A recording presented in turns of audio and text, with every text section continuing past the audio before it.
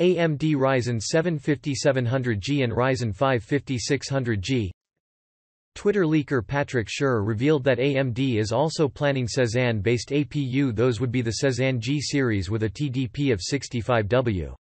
New Zen 3-based APU would replace the Ryzen 4000 G series based on Zen 3, Renoir, Silicon.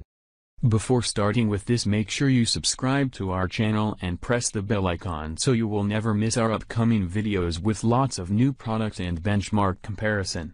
Start with the video. To this day, however, they have not been officially offered to consumers, but instead, they were restricted to OEM consumers. Consumers still had a better chance of finding Ryzen 4000G Pro CPUs instead, which are available at retailers. So it's about the desktop processors, not the mobile chips. Unfortunately, the leak does not contain any details about the APU that they are 6 and 8 core devices, but it seems obvious. The rumor mill assumes that AMD will introduce Cezanne in the course of the first quarter of 2021, possibly as part of the CES. It will be exciting to see whether the desktop processors will go on sale this time. This is not the case with Renoir to this day. Only the Ryzen 4000G Pro series changes hands every now and then.